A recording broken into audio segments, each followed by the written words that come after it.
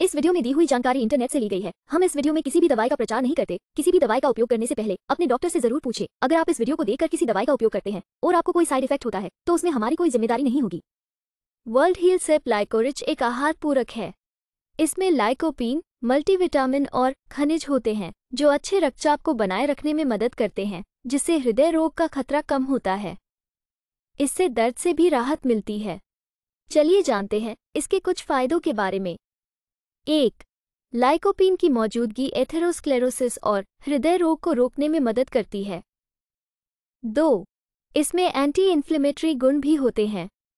तीन मल्टीविटामिन पोषण संबंधी कमियों को पूरा करते हैं और यह सुनिश्चित करते हैं कि लोगों को कम खपत वाले पोषक तत्वों की दैनिक खुराक मिले। चार, विटामिन और खनिजों का संयोजन एंटीऑक्सीडेंट समर्थन प्रदान करता है।